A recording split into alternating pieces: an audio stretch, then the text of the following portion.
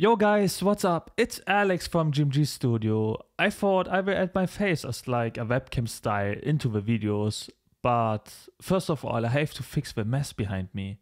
Give me one minute. Yeah. It's okay guys, I know it's not perfect, but it's enough for now.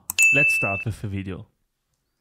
So first of all, we will run tuist generate to create the new Xcode project.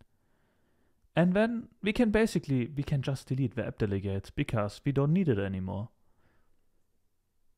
Now we will create a new file, make sure to make it under sources, and we will call it Gymlex app.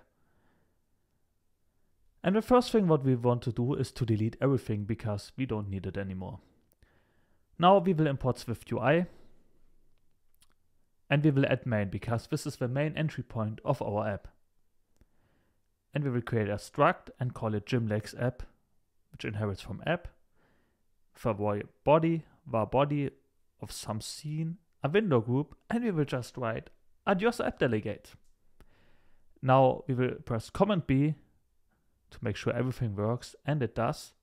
And now you can just press Command R to run the app. Make sure to choose a simulator. And now we have to wait a few minutes just kidding, a few seconds. And as you can see, adios app delegate, it worked.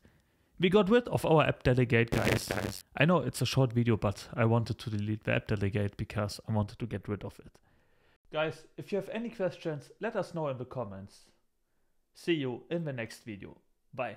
Like the video if you liked the video, dislike the video if you disliked the video, subscribe if you want to be notified on our future content. We are also on Instagram and Facebook. Feel free to follow us there as well and have a great day. Start creating, stop consuming.